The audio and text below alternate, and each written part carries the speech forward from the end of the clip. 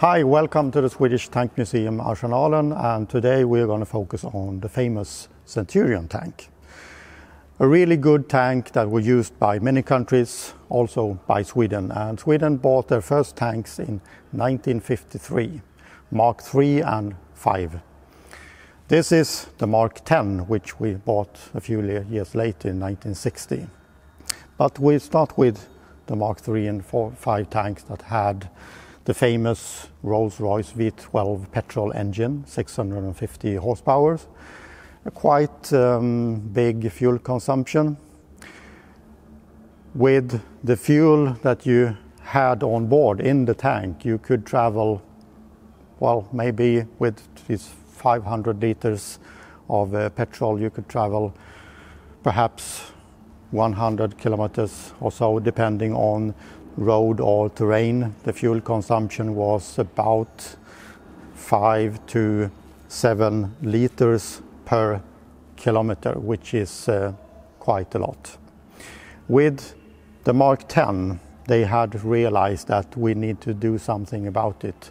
So they extended the uh, increased the fuel capacity in the tank from 500 liters to 1000 liters, so you could travel twice the distance, which was enormous improvement. But these tanks in the beginning, they well, they had difficulties to travel long distances. But there was a solution, and it's the solution that we are going to focus on from now on. So we're going to move rear of the tank. If you have a problem, you need a solution, and this is the solution to the problem with fuel capacity. In the tank, the Mark III and V, you had 500 liters, and that gave a cruising range about 50 to 100 kilometers, which is not a lot, depending on the train, of course. With this mono wheel trailer, as it's called, connected to the tank, you could add another 900 liters of petrol. So you can drive on the fuel in this trailer, and then when it's empty, you just drop it and continue your task with the fuel you already have inside the tank. And that was a great solution to a problem. So instead of refueling on the road to the battlefield, which takes some time, you could travel much faster and just drop the trailer and then continue. Many crew members, different countries, hated this trailer because it was uh, unreliable. Um, it fell off, uh, it flooded the fuel system in the tank, etc. But uh, I've used it in Sweden, and well, it's not that bad. It's a bit different to, uh, to drive with it, and you have to think, but um, it works, and it's a great, great solution to a big problem. At the rear, you fill the petrol in the corners, and the wheel is twisting, turning. So depending on which direction you are going, the wheel will turn. So this is for reversing the tank, and when you're going forward, it turns like that. So it follows the tank with this uh, one wheel, and that's why it's called the mono wheel trailer. And you can actually you can drive in cross country. It, it works. Um, and you can reverse the tank, uh, but you have to be a bit careful and look out to see that it doesn't go into a hole in the ground, etc., to break it. So, depending on, on the situation, it can be a bit tricky, but if you're going on road, it's absolutely perfect.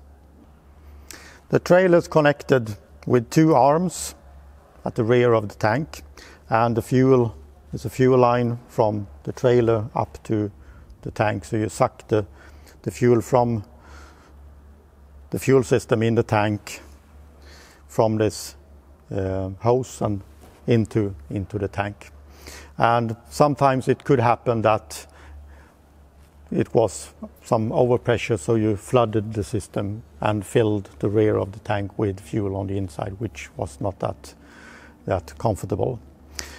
Um, the arms at the rear, they are connected in a special hook, and on the inside of the commander's position, there is two buttons, so you can disconnect from the inside, so you don't have to leave the tank to disconnect the trailer, which is uh, in case of uh, an emergency battle or whatever, you just push the buttons and there is an explosive device in this hook which open up and it drops to the ground.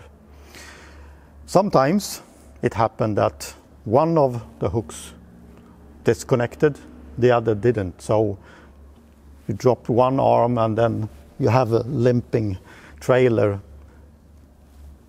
dragging behind the, the tank. So uh, I can understand why some uh, crew members thought this was just crap because it was always some situation, some incident. But uh, normally it would fell off and then you could continue with the tank.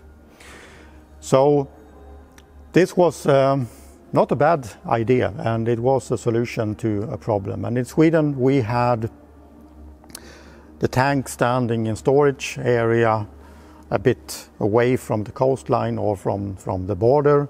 So in case of um, conflict, invasion or whatever, the crew could go to the storage where the tanks were and in 24 to 48 hours the company or battalion was battle ready and on the move towards uh, the supposed battle area.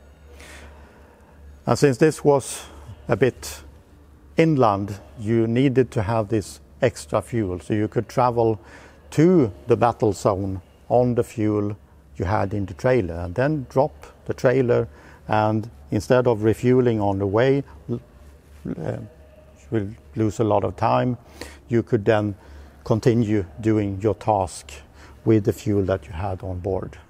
So that was the general idea. So all the Centurion tanks in Sweden had its own trailer connected to the tank in the storage, filled with petrol, ready to go. But that's history today. When you dropped the trailer, you had a company of 12, 14 tanks dropping each trailer. They were scattered around in the area on the roads. Someone needed to pick them up, and there was a special device for picking them up and bringing them back again. After dropping the trailer, someone had to pick it up, and to pick it up, you had this special dolly that you connected one arm to each of these wheels spread out and along tow bar and then you could move this trailer with any, any vehicle to bring it back home again. And this was the Centurion mono wheel trailer, a fantastic solution to a big problem, or maybe not so good solution to this problem. If you like our films, Please subscribe to our YouTube channel. You can also follow us on Facebook, Instagram. And until next time, bye bye.